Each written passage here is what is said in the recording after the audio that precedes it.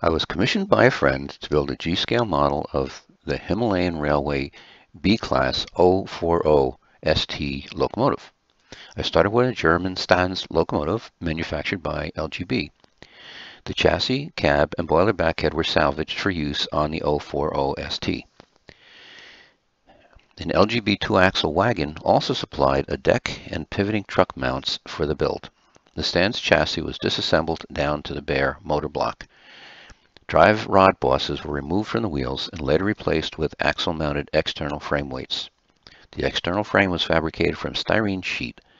Part of the wagon deck was bonded to the frame to provide a cab floor and running boards. The motor block was fitted to the external frame in front of the cab floor and between the running boards. A one and a half inch diameter PVC pipe boiler made a strong back for mounting the superstructure. Other parts were from the junk box. The saddle tank from the Porter didn't quite fit, so the water hatch and weight were used, but a new tank was fabricated from sheet styrene. The coal bunker was fabricated from sheet styrene and square rod. The sides of the stand cab were removed, and the rest of the cab was attached to the bunker. There's often need to disassemble parts for adjustment or refit on a custom build, so screws attach parts wherever possible. A fit check showed that a slot needed to be cut in the bottom of the boiler to allow it to slip over the motor block.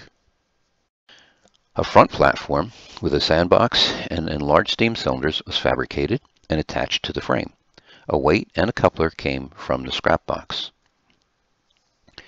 The large cab overhang could cause problems with a body-mounted coupler on a sharp turn. So, the coupler pivot from the wagon's truck was mounted to the cab floor. The steps from the wagon and a weight from the scrap box were also added to the rear of the frame. Additional structure like handrails, roof support posts, and other details were added. Then the model was disassembled for painting and lettering.